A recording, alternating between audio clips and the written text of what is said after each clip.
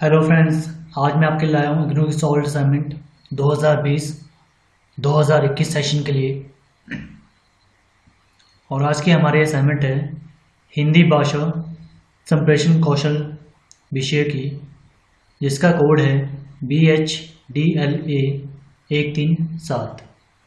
इसी तरह की मैंने एक लास्ट टाइम भी असाइनमेंट अपलोड की थी, जिसका नाम था हिंदी भाषा और संप्रेषण। तो आपके दोनों के दोनों सब्जेक्ट डिफरेंट है। तो ऐसा मत करना कि दोनों दोनों को एक जैसा समझना।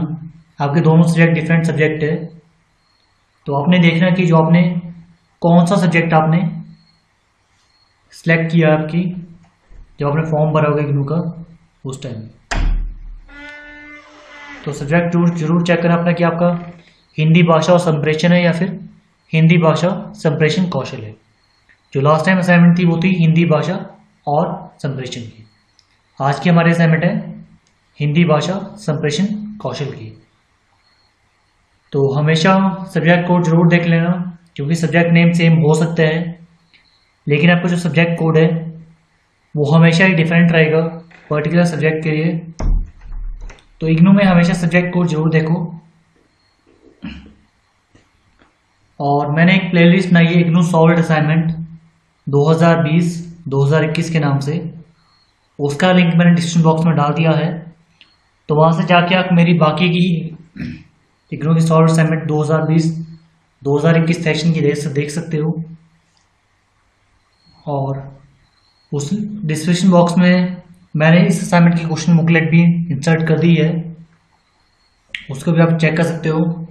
क्योंकि आपको जो क्वेश्चंस के आंसर्स करने से पहले आपको क्वेश्चन बुकलेट को भी अटैच करना पड़ता है। उसमें सिर्फ़ आपको जहाँ पर क्वेश्चन होते हैं, सिर्फ़ वही अटैच करना है। इस असाइनमेंट में जो लास्ट वाला पेज है, जहाँ पर सिर्फ़ क्वेश्चन होंगे, जिसमें तीन भाग होंगे आपके, खंड क, खंड ख, खंड ग। तो सिर्फ़ आपने उसी पेज का प्रिंट आउट लेना है और असाइनमेंट से पहले उसको अटैच करना है। सब्जेक्ट में आपको अटैच करना पड़ेगा असाइनमेंट से पहले। और इस असाइनमेंट में आपको मैं असाइनमेंट के साथ साथ ये भी बताऊँगा कि कैसे आपने असाइनमेंट को बनाना है और कैसे उसको सबमिट करना है। ताकि आप अच्छा स्कोर कर सको असाइनमेंट में और आपको जो फाइनल रिज़ल्ट बने, उसमें आपका पॉइंटर अच्छा रहे और परसेंटेज आपकी अच्छी रहे।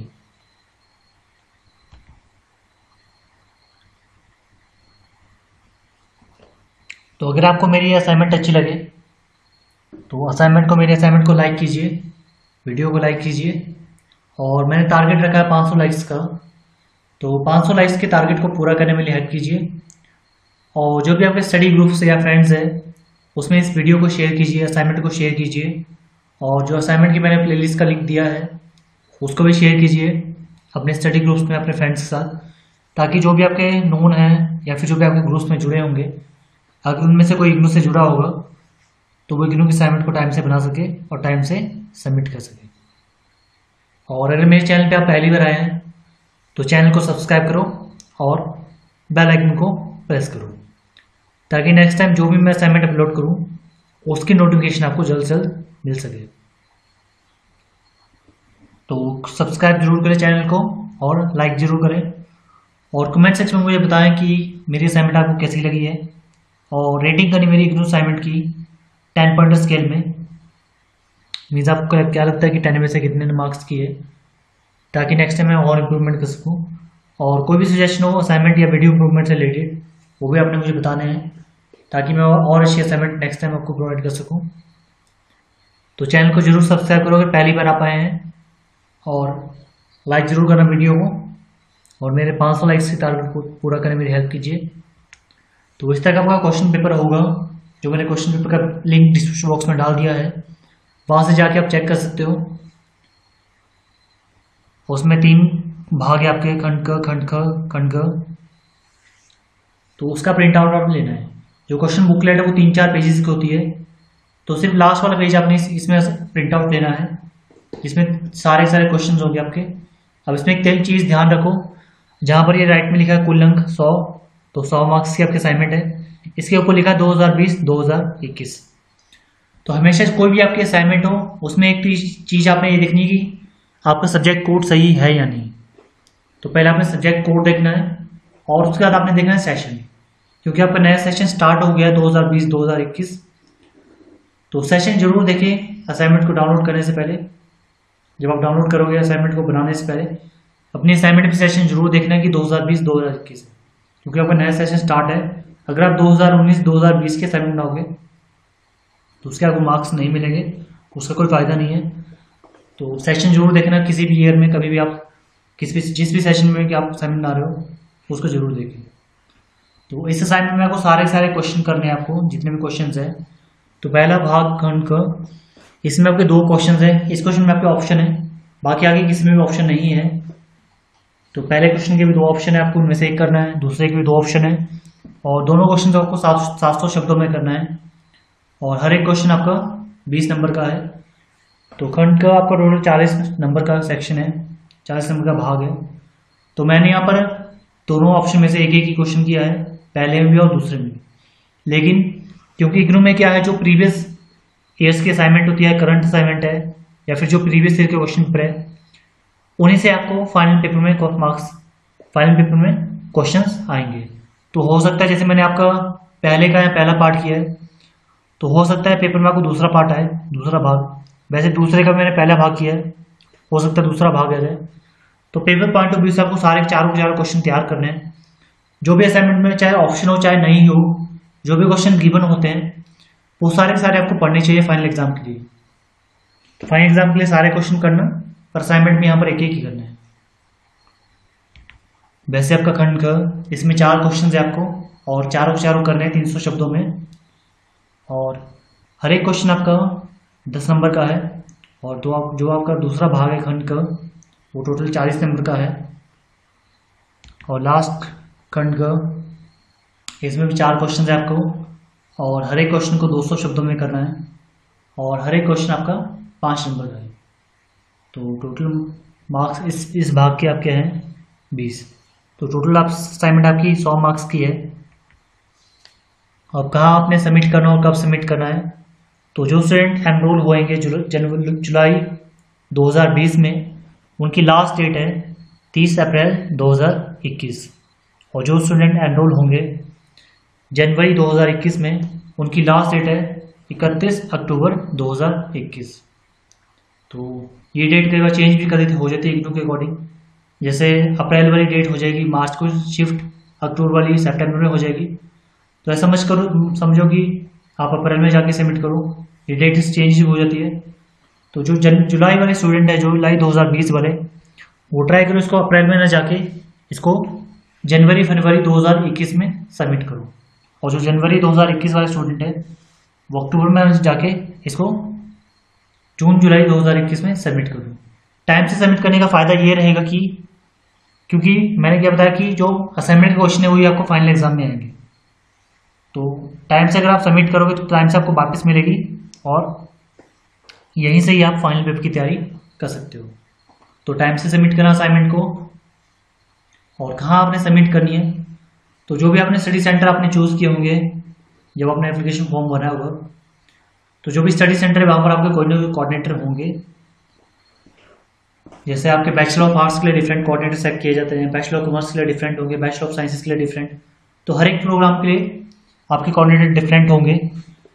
तो स्टडी सेंटर में जाके आपने जानकारी लेनी है कि आपके कोऑर्डिनेटर कौन है और या तो स्टडी सेंटर बता देगा आपको या फिर कोऑर्डिनेटर बता देंगे कि आपने असाइनमेंट किस चीज़ में बनी है। तो जानकारी आपने ले लेनी है स्टडी सेंटर या कोऑर्डिनेटर से, या आप असाइनमेंट किस चीज़ में बनाओगे। जैसे कई जगह बोलते हैं कि आप असाइनमेंट को फ़ाइल में बनाए, कई जगह कहते हैं कि आप नोटबुक नोटबुक में बनाओ, कई जगह बोलते हैं यू शीट में बनाओ, या फिर कई जगह बोलते हैं कि आप एक ही फ़ाइल या फिर एक ही नोटबुक में सिमिलर सब्जेक्ट के असाइनमेंट बना सकते हो। तो ये सारी जानकारी आपने स्टडी सेंटर से ले लेनी है, ताकि आप according to study centre assignment बनाओगे तो आप अच्छा स्कोर कर सकते हो। तो जानकारी, इसके अलावा कोई अगर जानकारी आपने कभी भी लेनी हो सर किसी से इग्नू रिलेटेड टॉपिक के, चाहे असाइनमेंट चाहे कोई और असाइनमेंट के अलावा भी तो बहुत सारी जानकारी आप स्टडी सेंटर से लो हमेशा, क्योंकि स्टडी सेंटर आपको सबसे बेटर गाइडलाइंस दे सकता है किसी भी पर्टिकुलर प्रॉब्लम इग्नू में जो भी प्रॉब्लम आएगी आपको, सबसे बेटर गाइडलाइंस आपको स्टडी सेंटर से मिलेगी। या फिर आपको जो रीजनल सेंटर है वहाँ से मिलेगी। तो ट्राई करो, कोई भी प्रॉब्लम आपको आती है, किसी से मत पूछो, सीधे डायरेक्ट रीजनल सेंटर से कांटेक्ट करो या फिर आपके स्टडी सेंटर से कांटेक्ट करो।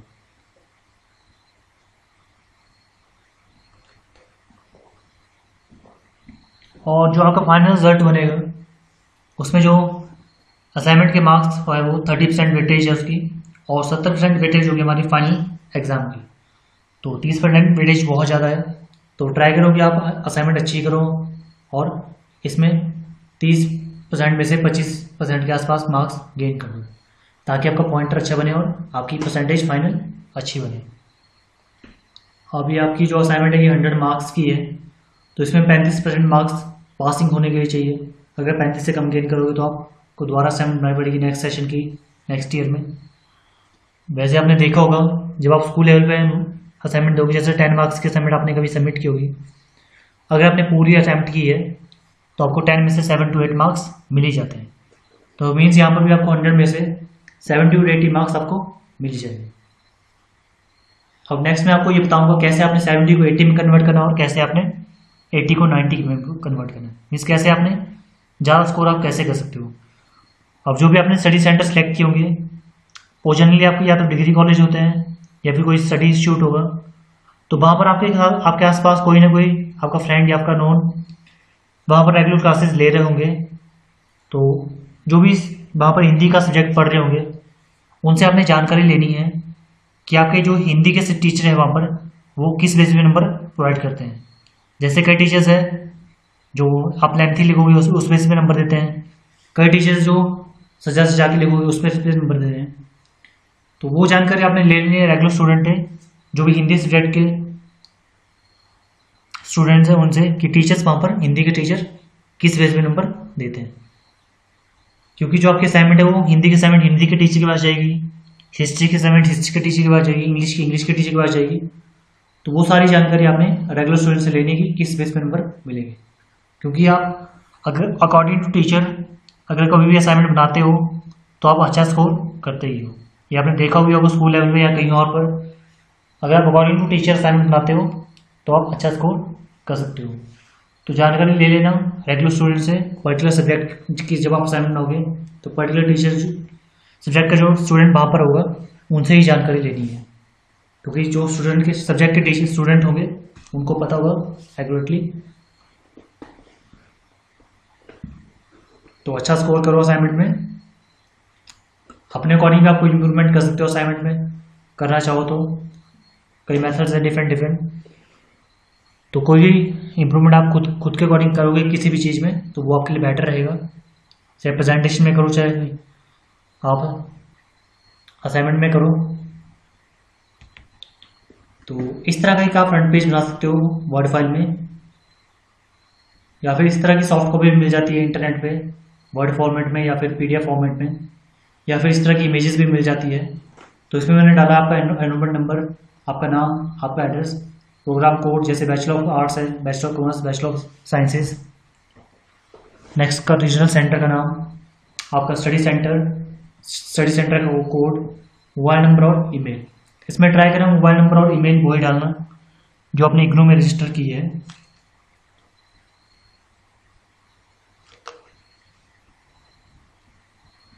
तो इस तरह का एक फ्रंट पेज आप बना सकते हो वर्ड फ़ाइल में। अब इसमें देखो जो मैंने डिटेल्स डाली है, जैसे आपका एनरोलमेंट नंबर है, आपका नाम है, आपका एड्रेस है programme code regional centre study centre study centre code mobile number email तो ये सारी डिटेल आपकी बिल्कुल यूनिक है। मीन्स आपकी ये डिटेल किसी भी सब्जेक्ट के लिए सेम रहेगी, किसी भी ईयर के लिए सेम रहेगी, किसी भी सेमेस्टर के लिए सेम रहेगी। ये डिटेल आपकी कभी भी चेंज नहीं होगी किसी भी सब्जेक्ट में, ना ही किसी ईयर में। तो इससे फ़ायदा क्या होगा? अब इसमें देखो मैंने सब्जेक्ट नेम सब्जेक्ट नेम नहीं, नहीं डाला है। अगर मान लो इसमें मैं सब्जेक्ट नेम डालता हिंदी भाषा संप्रेषण कौशल तो जब आप इसका प्रिंट आउट लोगे तो उस प्रिंट आउट को आप सिर्फ़ किसी सब्जेक्ट में यूज़ कर सकते हो। मीन्स उसको दोबारा यूज़ नहीं कर सकते हो। तो ट्राई करो सब्जेक्ट नेम और सब्जेक्ट कोड फ्रंट पेज में ना डालो। उसके लिए एक एक्स्ट्रा पेज लगा दो। उसमें हैंड रिटन लिख दो उसको सब्जेक्ट नेम और सब्जेक्ट कोड फ्रंट पेज में ट्राई करो ऐसी डिटेल डालो। जो आपकी यूनिक रहेगी किसी भी सब्जेक्ट में, किसी भी ईयर में। इसका फ़ायदा क्या होगा? अगर मान लो आपने एक बार प्रिंट आउट ले लिया है फ्रंट पेज का, उसे क्या बहुत सारे प्रोसेस करा सकते हो? अब आपको पता है कि प्रिंट आउट महँगा है और प्रोसेस क्या है? लेस कॉस्टली है। तो मिस सकते हैं कि एक तरह आपकी सेविंग हो जाएगी यहाँ से। सेविंग कर सकते हो आप। अगर सेविंग नहीं करनी तो आप सब्जेक्ट नेम डाल सकते हो उसमें पर सेविंग के लिए ट्राई करोगी। फ्रंट पेज में सब्जेक्ट नेम और सब्जेक्ट कोड ना डालो। अब इसके बहुत सारे प्रोसेस डालो और जब आप असाइनमेंट सबमिट करोगे और जब आपको असाइनमेंट वापस मिलेगी तो अगर फ्रंट पेज में कुछ लिखा नहीं होगा टीचर्स ने। तो आप सेम पेज नेक्स्ट टाइम किसी और असाइनमेंट में यूज़ कर सकते हो। तो एक तरह की आपकी सेविंग भी है। तो फ्रंट पेज में ट्राई करो, मत लिखो। और ऐसा कोई फास्ट रूल नहीं है कि आपको टाइप ही करके बना सकते हो। इसको चाहे तो आप हैंड रिटन भी लिख सकते हो। हैंड रिटन लिख लो स्केच से या ब्लैक पेन से या किसी और तरह से सजा के तो इसको आप स्केच से भी हैंड रिटन लिख सकते हो स्केच से या किसी और से। तो फास्ट रूल नहीं कि आपने टाइप ही करना है। तो पहले आपका एक फ्रंट पेज आपने अटैच करना जो सामने दिख रहा है, इस तरह का बना देना है। उसके बाद आपने अटैच करना आपका आइडेंटिटी कार्ड जो आपको इग्नू से मिला होगा। वैसे आइडेंटिटी कार्ड कंपलसरी नहीं है अटैच करना, लेकिन अगर आइडेंटिटी कार्ड आप अटैच करोगे, अगर मान लो कोई भी आपने डिटेल फ्रंट में फ्रंट पेज में गलत अपलोड कर दी है तो आपके जो टीचर्स चेक करेंगे स्टडी सेंटर वाले चेक करेंगे असाइनमेंट को तो वो आपके आइडेंटिटी कार्ड से उसको वेरीफाई कर सकते हैं कि कोई डिटेल ठीक है या नहीं। या फिर कई जगह, अगर आपने आइडेंटिटी कार्ड दिख जाएगा पहले उनको तो वो डायरेक्ट आपकी डिटेल आइडेंटिटी कार्ड से ही देगी। क्योंकि आइडेंटिटी कार्ड में आपकी बिल्कुल एक्यूरेट डिटेल है क्योंकि तो आइडेंटिटी कार्ड को हमेशा अटैच करो, किसी भी असाइनमेंट में, किसी भी चेक में। एक तरह की बेटर रिप्रेजेंटेशन रहेगी आपके असाइनमेंट की। तो पहले आपका ये फ्रंट पेज फिर आपका आईडी कार्ड और थर्ड आपने अटैच करना है क्वेश्चन पेपर जहाँ पर क्वेश्चन होंगे आपके असाइनमेंट के क्वेश्चन वो क्वेश्चन वाला पेज आपने अटैच करना प्रिंट आउट ले लेना उसका। उसका लिंक मैंने बता दिया डिस्क्रिप्शन बॉक्स में डाल दिया है। तो तीनों को आपने अटैच करना है। और क्वेश्चन बुकलेट जो असाइनमेंट की है, उसमें सिर्फ़ लास्ट पेज ही प्रिंट आउट करना आपने, जहाँ पर क्वेश्चन होंगे। पूरा का पूरा प्रिंट आउट नहीं करना, उसमें तीन चार पेजेस होते हैं। लास्ट वाला पेजेस जिसमें आपके क्वेश्चन होंगे, वही आपने प्रिंट आउट करना है। तो अगर मान लो स्टडी सेंटर में बोलते हैं कि आप एक ही फ़ाइल या फिर एक ही नोटबुक में तीन चार सेम सेम सब्जेक्ट के असाइनमेंट बना सकते हो। तो मान लो अगर आप तीन बना रहे हो तो पहले फ्रंट पेज आपका सामने जो दिख रहा है, फिर आपका आईडी कार्ड फिर पहले असाइनमेंट का क्वेश्चन पेपर फिर पहले असाइनमेंट फिर दूसरे असाइनमेंट का क्वेश्चन पेपर फिर दूसरे असाइनमेंट फिर तीसरे असाइनमेंट का क्वेश्चन पेपर फिर तीसरे असाइनमेंट मीन्स आपका फ्रंट पेज और आईडी कार्ड चाहे आप एक में तीन बना रहे हो, या फिर एक फ़ाइल या एक नोटबुक में एक ही बनाओगे फ्रंट पेज और आईडी कार्ड आपको एक ही बार यूज़ होगा। और सेम आप बार बार यूज़ कर सकते हो। किसी भी टाइम सेट कर लो चाहे। और सेम पेज जब जब वापस मिलेगी तो नेक्स्ट ईयर किसी और सब्जेक्ट में यूज़ कर सकते हो। तो ट्राई करें इसमें सब्जेक्ट नेम सब्जेक्ट कोड ना डालें। तो यहाँ से आपका पहला क्वेश्चन स्टार्ट हो रहा है खंड का। तो इसमें सारे के सारे क्वेश्चन करने आपको। से पहला और दूसरे क्वेश्चन में ऑप्शन था, अथवा करके। तो मैंने यहाँ पर एक ही किया है। लेकिन फाइनल पेपर के लिए आप क्या करना, दोनों को पढ़ना। क्योंकि हो सकता है ये वाला क्वेश्चन आए, दूसरा वाला जाए। तो फाइनल एग्ज़ाम के लिए आप दोनों को पढ़ना। और जैसे यहाँ पर लिखा है, खंड का, निम्नलिखित प्रश्न को सात सौ शब्दों में करो। तो सात सौ शब्दों वाला मत लिखना। तो खंड का, फिर पहला क्वेश्चन का नाम, प्रश्न, और उत्तर, और जो हेडिंग्स है, जो मैंने बोल्टेड किए होंगे डार्क उनको ट्राई करो। स्केच पेन या फिर ब्लैक पेन से लिखो। क्योंकि ब्लैक पेन स्केच पेन से आप जब लिखते हो तो एक तरह की बेटर रिप्रेजेंटेशन थी आपके असाइनमेंट की। अगर आप अच्छा स्कोर करते हो, आपने देखा होगा स्कूल लेवल पे कभी। और ट्राई करना सेम ही स्केच पेन या ब्लैक पेन जो आप यूज़ कर रहे हो, एक ही यूज़ करना। और उसी को पूरी पूरी असाइनमेंट में हेडिंग के लिए क्वेश्चन के लिए उत्तर के लिए यूज़ करना। इससे आपको क्या हो जाएगा कि बेटर रिप्रेजेंटेशन रहती है सेम पेन यूज़ करते कभी और फाइनल एग्ज़ाम में भी आप हमेशा ऐसे किया करो। तो सेम पेन यूज़ करना, चाहे आप हेडिंग दे रहे हो, या फिर आंसर लिख रहे हो। और जो बोल्डेड पोर्शन को ब्लैक पेन से या फिर कैसे लिखना। और जैसे इसमें पहला क्वेश्चन है सात सौ शब्दों में तो मैंने इसमें क्वेश्चन आपका सात सौ शब्दों से ज़्यादा में किया है। मैंने इसलिए ऐसा किया है ताकि क्या करो, आप पहले पहले पूरे क्वेश्चन को पढ़ो और उसमें से जो आपको लगता है कि मेन मेन पॉइंट्स क्या है, और फिर उसको कंपाइल करो पूरे क्वेश्चन को अपने शब्दों में। जो आपको लगता है एक्स्ट्रा एक्स्ट्रा मैंने इसमें डाला है, उसको अपने शब्दों में लिखो। और इससे क्या फ़ायदा होगा? जैसे मान लो, अगर मान लो 800 800 वर्ड्स का मैंने लिखा हुआ तो आपको करना तो 700 वर्ड्स मीन हंड्रेड वर्ड्स आपको कट करना है। तो जो आपको एक्स्ट्रा मटेरियल लगता है, इसमें उसको हटा दो और बाकी को लिख दो। इसका एडवांटेज क्या होगी? एक तो आपकी असाइनमेंट भी अच्छी बनेगी। प्रॉपर जो आपको कंटेंट चाहिए टीचर को, वही मिलेगा वहाँ पर। और सेकंड आपको असाइनमेंट की नॉलेज भी होगी, क्योंकि आपने जब खुद जो कट किया होता है, फिर आपको बाकी का पता होता है? कुछ भी आप खुद इम्प्रूवमेंट किसी भी चीज़ में करते हो, वो आपको हमेशा याद रहती है। और थर्ड अब क्योंकि आपने अपने शब्दों में लिखा होगा तो आपकी असाइनमेंट भी अच्छी बनती है। और थर्ड इससे आपकी फाइनल पेपर की तैयारी भी यहीं से हो जाएगी। क्योंकि आपने पूरा क्वेश्चन पढ़ा होगा खुद, आराम से उसको स्टडी किया होगा और फिर उसको लिखा होगा। तो यहीं से आपकी फाइनल पेपर की तैयारी भी हो जाएगी। तो हमेशा ट्राई करो। जो भी मैंने क्वेश्चन लिखा है, वो मैंने ज़्यादा किया। है तो पहले पूरे क्वेश्चन को पढ़ो। उसका जो आपको लिखते हैं मिनिमम पॉइंट्स उनको ही आपने लिखना है। तो असाइनमेंट भी अच्छी बनेगी असाइनमेंट की नॉलेज भी होगी। और यहीं से ही आपकी फाइनल पेपर की तैयारी भी हो जाएगी। और टाइम से जब आप सबमिट करोगे, जब आपको टाइम से वापस मिलेगी तो जो भी आपने अपने अकॉर्डिंग लिखा होगा, उसमें जब आप दोबारा पढ़ोगे असाइनमेंट को फाइनल पेपर के टाइम तो उसमें क्या फ़ायदा होगा? अब जब आपने खुद लिखा होगा, अपने शब्दों में, अपने चुनिंदा पॉइंट्स में लिखा होगा तो अब जब उसको दोबारा पढ़ोगे तो ईजिली आप उसको गेन कर सकते हो फाइनल एग्ज़ाम के लिए। तो हर एक क्वेश्चन को पहले आराम से पढ़ना पूरे पूरे क्वेश्चन को और अपने शब्दों में करना। तो अगर कुछ एक्स्ट्रा मटेरियल है, कुछ एरर है, वो भी बता देना। और कहाँ पर एरर है और क्या उसकी करेक्शन है, वो भी आप कमेंट सेक्शन में आप मुझे बता देना, ताकि बाकी के स्टूडेंट्स को करेक्ट कर सके। तो इसमें वीडियो आपकी लेंथी बनेगी काफ़ी, क्योंकि काफ़ी ज़्यादा क्वेश्चन जैसे पहले दो क्वेश्चन सात सौ शब्दों के हैं, अगले चार क्वेश्चन आपको तीन सौ शब्दों में हैं, अगले चार क्वेश्चन दो सौ शब्दों में हैं। तो काफ़ी लेंथी क्वेश्चन है आपके, काफ़ी लेंथी असाइनमेंट है। तो हो सकता है बनारस से ऊपर की बन गई हो। क्योंकि मैंने इसमें साथ साथ में क्या बताया आपको? असाइनमेंट के साथ साथ मैं आपको ये भी बता रहा हूँ कि कैसे उसको सबमिट करना है। तो सबमिशन मैं बता चुका हूँ। अब आपके असाइनमेंट है सामने। तो हर एक क्वेश्चन को पहले पूरा पढ़ो और अपने पॉइंट्स में लिखो। तो उसमें मैं स्लोली मूव कराऊँगा। अगर कोई भी आपको स्पीड ज़्यादा लगेगी तो आप पॉज करके लिख सकते हो। वैसे मैं ट्राई करूँगा स्लोली मूव कराऊँ। अगर स्पीड ज़्यादा लगेगी तो अपने अकॉर्डिंग आप पॉज करके उसको लिख सकते हो। तो असाइनमेंट को पूरी देखना। लेंथी असाइनमेंट है लेकिन इसमें कंटेंट भी है, क्योंकि इसमें नॉलेज मैंने आपको बता दी कि कैसे सबमिट करना है, कब सबमिट करना है। वो सारी जानकारी मैंने दे दी आपको। तो पूरी असाइनमेंट को देखो। और अगर मेरी असाइनमेंट आपको अच्छी लगे तो असाइनमेंट को लाइक कीजिए।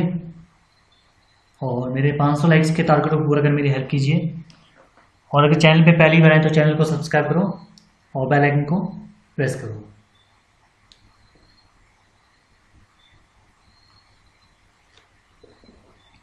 और असाइनमेंट की प्लेलिस्ट को असाइनमेंट को अपने फ्रेंड्स साथ शेयर करो, जो भी स्टडी ग्रुप से वहाँ पर शेयर करो, ताकि बाकी के भी टाइम से सबमिट कर सकें। और कोई भी इम्प्रूवमेंट आप अपने अकॉर्डिंग कर सकते हो नंबर गेन करने के लिए, वो भी आपके लिए बेटर रहेगा। आपने कभी स्कूल लेवल पर असाइनमेंट बनाए तो आपको पता है कि किस बेसिस पे नंबर मिलते हैं टीचर्स किस बेसिस पे नंबर देंगे। तो वो कोई भी चेंजेस आप कर सकते हो अपने अकॉर्डिंग तो वो भी बेटर है आपके लिए।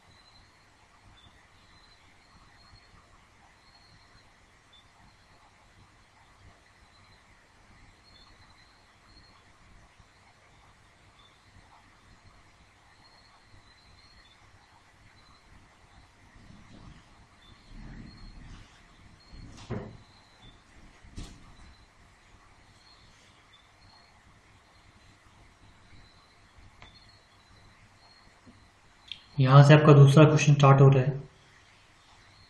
तो जो प्रश्न है और जो उत्तर है और जो बोल्टेड पोर्शन है उनको ब्लैक पेन्स कैसे लिखना, इसमें मैंने एक ही भाग किया है। लेकिन जो ऑप्शन में क्वेश्चन था इसका, अथवा के दूसरी तरफ़, उसको भी आपने फाइनल पेपर के लिए तैयार करो। क्योंकि हो सकता है ये क्वेश्चन आ जाए वो आ जाए। तो फाइनल पेपर के लिए सारे के सारे ऑप्शन के क्वेश्चन आपने करने हैं। ना ही इस सब्जेक्ट में, कोई और सब्जेक्ट भी होगा उसमें भी ऐसा ही करना होगा।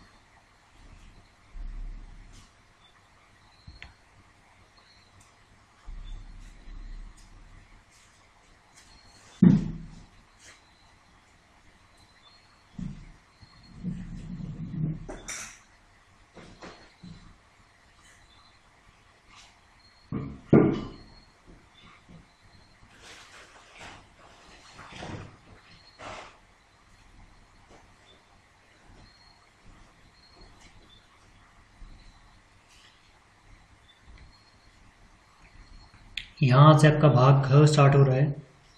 तो इसमें हर एक क्वेश्चन को आपको तीन सौ शब्दों में करना है। और टोटल चार क्वेश्चन है। तो मैंने यहाँ पर भी इसको तीन सौ से ज़्यादा शब्दों में किया है। तो आप पहले एक एक क्वेश्चन को पूरा पहले पूरा पढ़ो और फिर उसको तीन सौ शब्दों में कंपाइल करो। असाइनमेंट भी से आपकी अच्छी बनेगी और इनसे फाइनल पेपर की तैयारी भी आपकी हो जाएगी। तो अगर असाइनमेंट अच्छे लग तो मेरे असाइनमेंट को लाइक कीजिए। 500 लाइक्स के टारगेट को पूरा करने मेरी हेल्प कीजिए।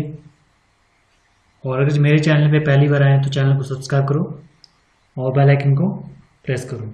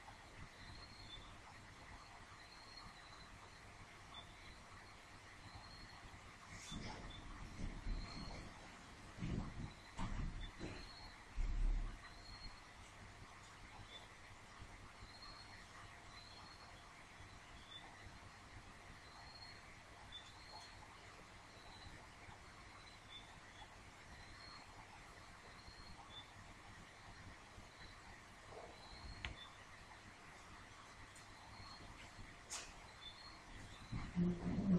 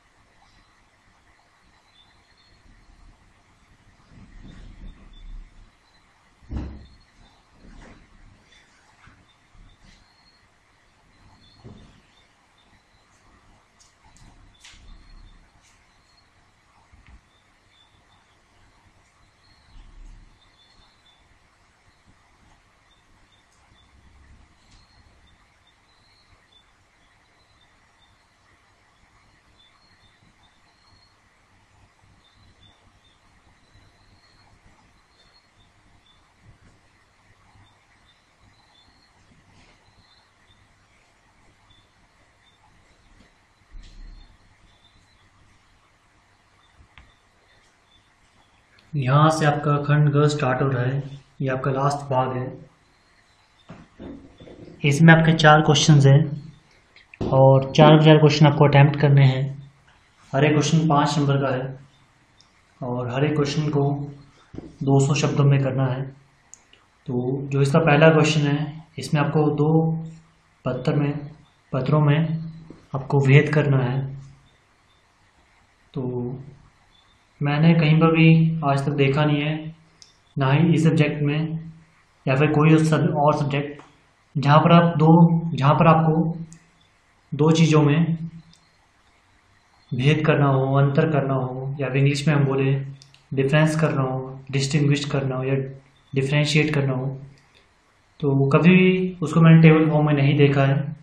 वो हमेशा पैरे की तरह उसको लिखते हैं, पहले एक को एक्सप्लेन करते हैं, और फिर दूसरे को एक्सप्लेन करते हैं।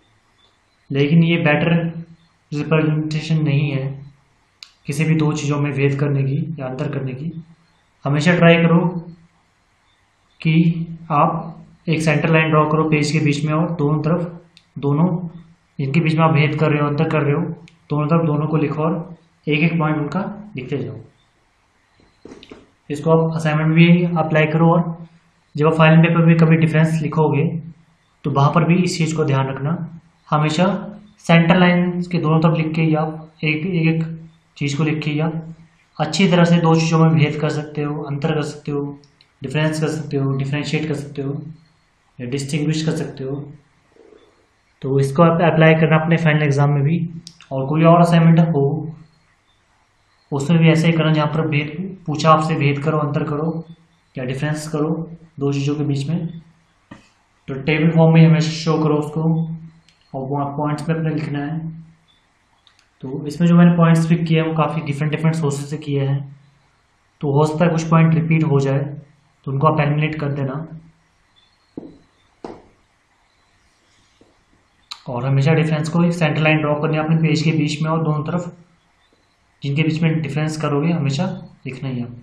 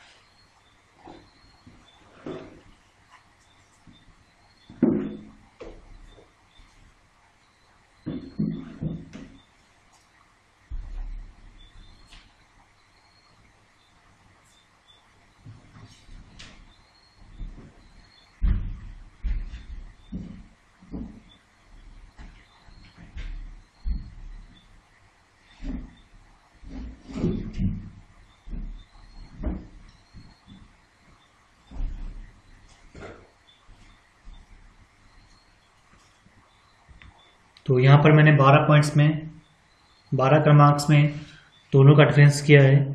आप अपने अकॉर्डिंग इनको कम ज़्यादा कर सकते हो और कोई भी रिपीट हुआ तो उसको क्रैक हटा देना।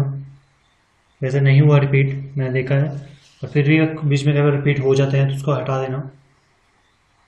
और अगर असाइनमेंट अच्छी लग रही हो तो असाइनमेंट को लाइक कीजिए। और 500 लाइक्स के टारगेट को पूरा करने में हेल्प कीजिए। और अगर मेरे चैनल पे आप पहली बार आए तो चैनल को सब्सक्राइब करो और बेल आइकन को प्रेस करो। मैंने हर बार जो भी डिफरेंस किया है, वो हमेशा टेबल फॉर्म में किया है। किसी भी असाइनमेंट आप चेक कर सकते हो। तो आप भी हमेशा पेपर में, या असाइनमेंट में दो चीज़ों में डिफरेंस या अंतर हिंदी में बोले, हमेशा टेबल में ही करना। एक सेंटर लाइन ड्रॉ करना पेज में और दोनों तरफ़ उसको लिखना है। अगर कहीं पर भी अवेलेबल नहीं होगा तो अपने आप उसको स्टडी करना और डिफरेंस हमेशा टेबल में ही करना है।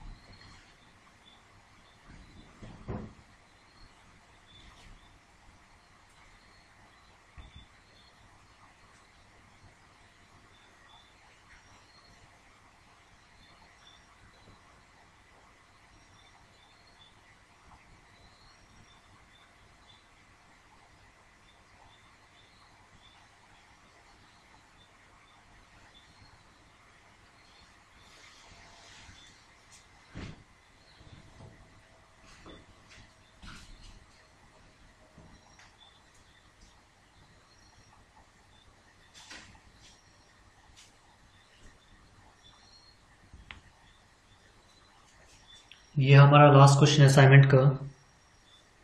तो अगर असाइनमेंट अच्छी लगी हो तो असाइनमेंट को लाइक कीजिए। और अगर चैनल पे पहली बार आए तो चैनल को सब्सक्राइब करो और बेल आइकन को प्रेस करो। और कमेंट सेक्शन में ज़रूर बताएँ कि आपको असाइनमेंट कैसी लगी। और कोई भी इम्प्रूवमेंट से रिलेटेड आपको लगता है कि इम्प्रूवमेंट होनी चाहिए क्वेश्चन से रिलेटेड असाइनमेंट से रिलेटेड या फिर वीडियो से रिलेटेड तो वो भी आपने ज़रूर बताने हैं। और जो मैं प्लेलिस्ट इंसर्ट की है प्ले डिस्क्रिप्शन बॉक्स में, उसको शेयर कीजिए अपने फ्रेंड्स के साथ और साइंस असाइनमेंट को भी शेयर कीजिए, जो भी आपके स्टडी ग्रुप से या फ्रेंड्स हैं जो एक से रीड असाइनमेंट चाहते हैं, ताकि वो भी टाइम से असाइनमेंट को सबमिट कर सकें।